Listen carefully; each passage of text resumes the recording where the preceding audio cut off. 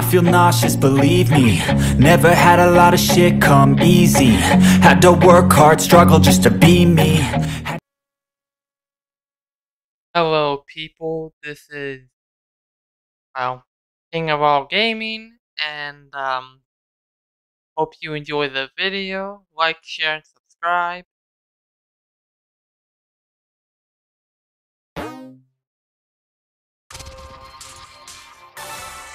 The last time we just did part 2, which is when we fought that eater, and then now we are going to do some cases, and then try to get past this level.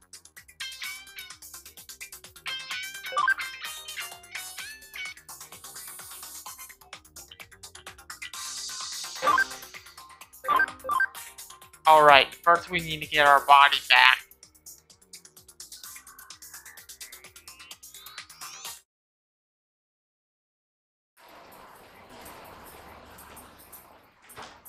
Chapter 1 Welcome to Coromai's Detective Agency. I am sure if I said that right. If I didn't, please tell me.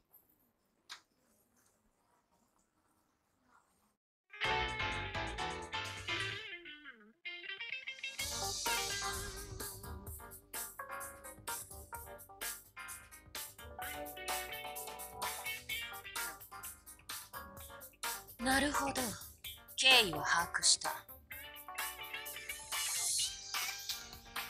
君が電脳空間からログアウトして出現したという新宿のあの場所はエデンへログインした場所と同じかあるいはその付近なのか。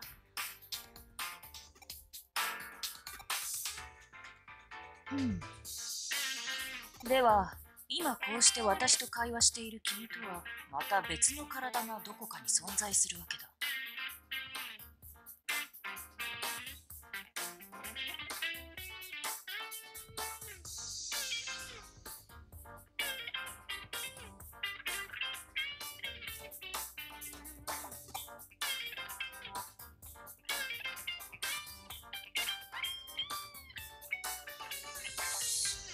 肉体から精神データが分離してしまい個別の存在として現実世界に現れた。それとも何らかの理由で新宿に移動した肉体が壊れたデータの怪人のような姿に変化した。いずれにしろ奇妙奇天烈な話ではあるが目の前にまさしく摩訶不思議な姿をした君がいる。現段階では状況証拠による単純な推理しかできない。早速情報収集を進めよう。まずは君がエデンにログインした場所の現状を確認するのも定石だ。君はどこでログインしたんだ？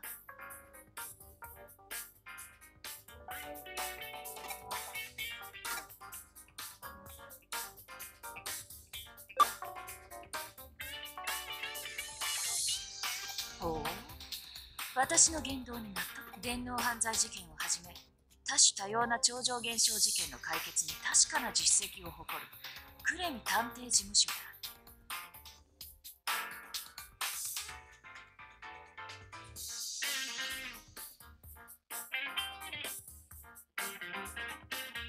君の身に起こった怪異的現象の謎を解明するのにこれほど頼もしい場所はないだろう。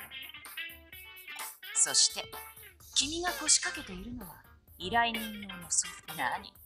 依頼報酬の件ならば心配しなくていい。君の存在はすでに何よりも報酬なのだよ。大船に？そうだな。メアリー・セレスト号あたりに乗り込んだつもりでいなさい。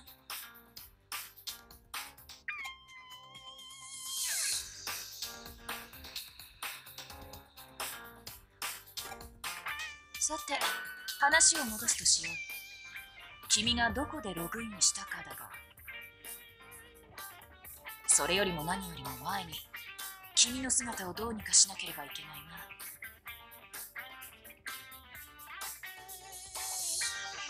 その姿ではまともに外を歩くこともできない。それにとても不安定な状態に思える。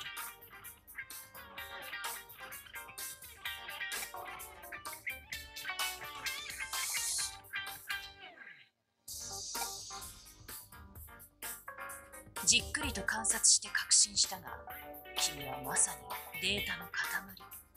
デジタル体そのものだ。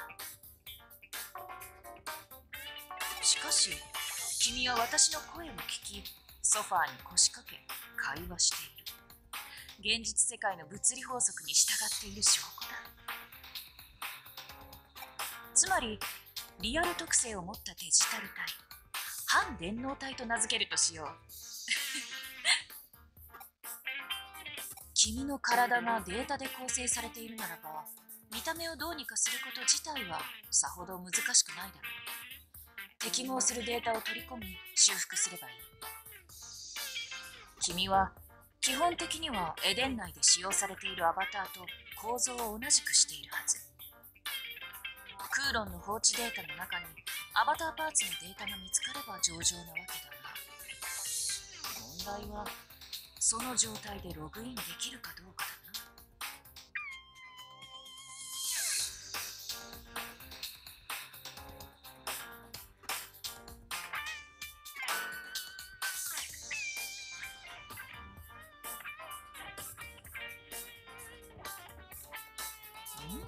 な。ん？なんだ？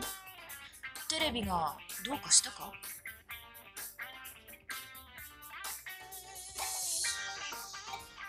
こっちよ。飛びなさい。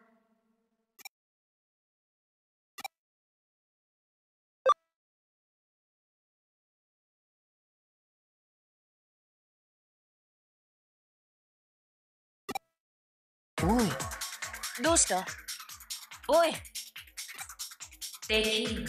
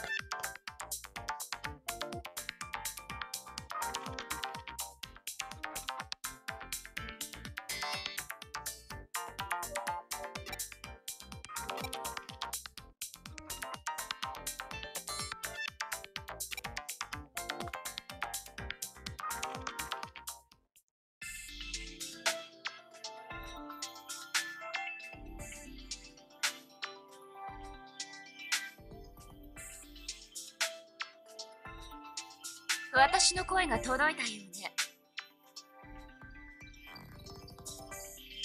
ようこそデジラボへ。ここはデジタルワールドとかすかに交わるデジモンたちの楽園。私は三神楽ミレイあなたにこの楽園を解放してあげる。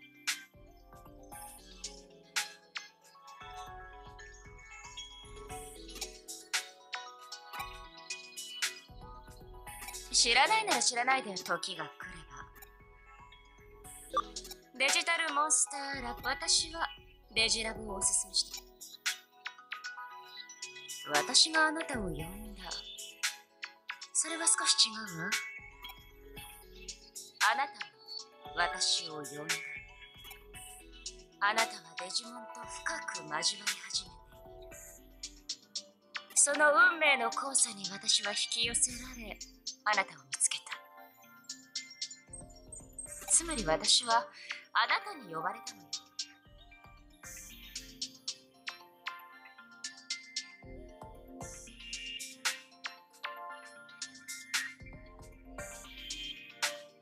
話はこれくらいにしましょう。まずはここがどういう場所か。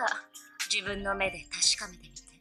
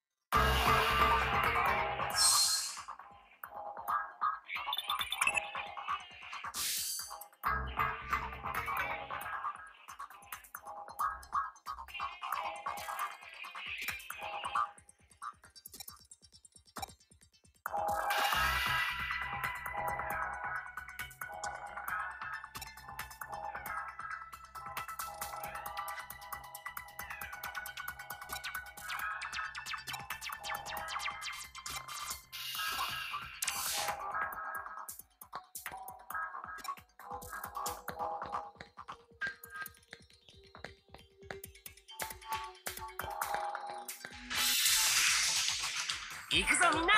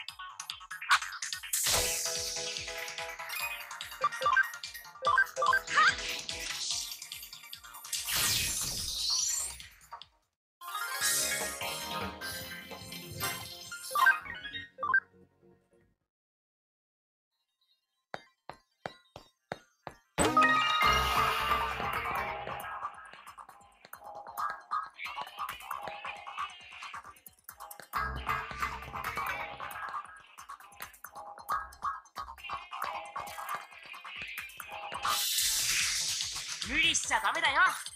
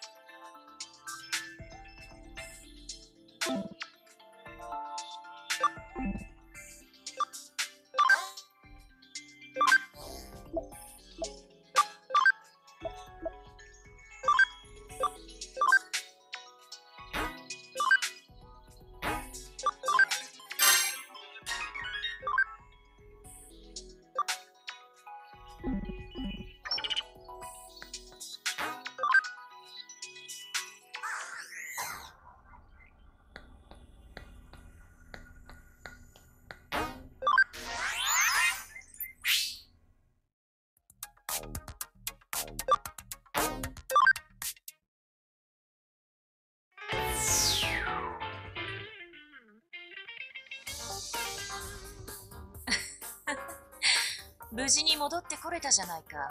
当然の帰結。推測通りの結果だが。しかしよくよく現実離れした能力だ物理法則に律儀に従っているのは物質生命体としての本能的な恐怖によるものかな。本当に興味深い。邪魔するよ京ちゃん。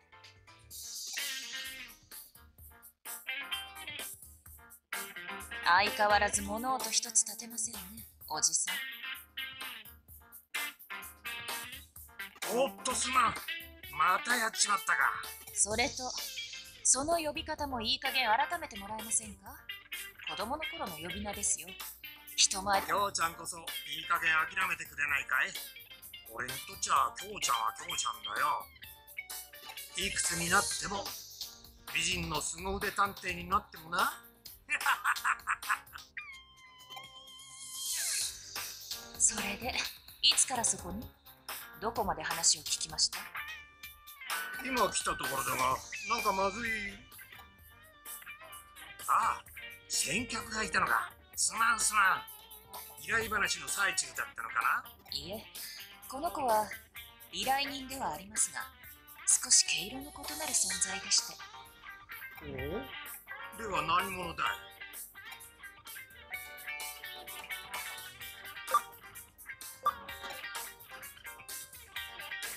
紹介しておこう。こちらは又吉刑事。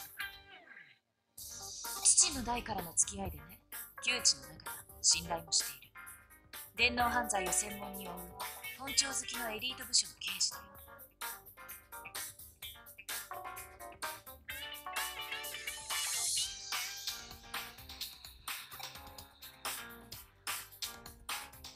かけによらずと思っただろう。まあ実際のところ見かけ通りのはみ出し者だ。出なきゃ探偵ってのはうさんくさい連中とつるんだりしないさ。おっと出現出現それで何か事件ですか？依頼でしたらどうぞソファーにかけてお待ちを。今美味しいコーヒーを入れて。いやいい今日は依頼じゃない。コーヒーはいいよ。エデン症候群の件で少し気になる噂を耳にしてね。今日聞かせていただきましょうか。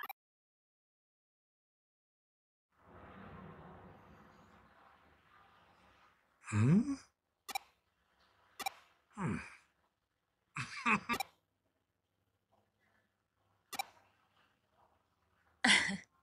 この子なら大丈夫ですよおじさん。実はエデンに絡む特殊な関係者です。それにある種のスペシャリストになりうる素質があります。話を聞かせておくべきでしょう。そうか。京ちゃんのお墨付きなら問題ない。話ってのはエデン症候群患者を隔離している例の特別病棟の噂だよ。おっと。未来の専門家さんにはエデン症候群の説明が必要かい？お願いします。エデン症候群ってのはエデンを利用中のユーザーが突然意識不明になりそのまま目覚めなくなる奇病だ。年々患者数は増えているが原因治療法症状。いまだセントラル病院にはエデン症候群患者の専用病棟特別病棟があってそこでは研究及び回復処置を行っている。が妙に情報統制が厳しくてな患者の家族も立ち入れない秘密の隔離施設があるとな。上白のイメージダウンになるのを恐れて事実を隠蔽しているんじゃないかなんて噂もある。今回の件も噂の息を出ない類ではあるんだが近くセントラル病院の背後が動き出しそうだ。はい上白エンタープライズですね。ああセントラル病院は上白の息がかかっている。エデンネットワークの運営元である上白のな。発症患者の増加症状の重篤化傾向それらが明らかになりつつある今上白が黙っているはずがない。普段の病院で人の出入りが激しくなっている。特別病棟のセキュリティも強化されるらしい。これは何か？ようやくですね。ああやっとだ やはりコーヒーを入れてきますよ。景気よく乾杯といきましょおっとそろそろショーに戻らないと。悪いが乾杯はまたの機会にしよう。じゃあまたな。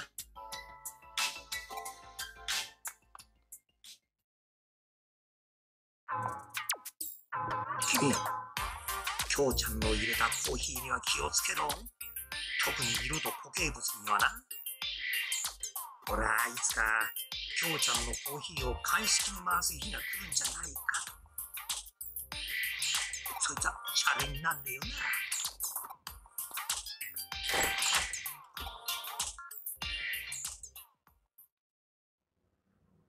聞いての通りだ。エデン症候群絡みの生きた情報は手に入りにくい。背後で上城の統制が行き届いているからな。そして、これからさらにセキュリティは厳しくなる。エデンで異変が起き、異常な状態の君が現れた。タイミングを同じくして、上城も動くという。これは偶然か？いな、必然だ。この上なく明白な論理だ。推理するまでもない。私はこれからセントラル病院へ向かう。セキュリティ強化の前に可能な限り情報を引き出す。君もぜひ同行してくれたまえ。君の状態に関する情報も得られるかもしれない。求めよ、さらば与えられん。叩けよ、さらば開かれん。いや、君の場合、開けごまが適当か？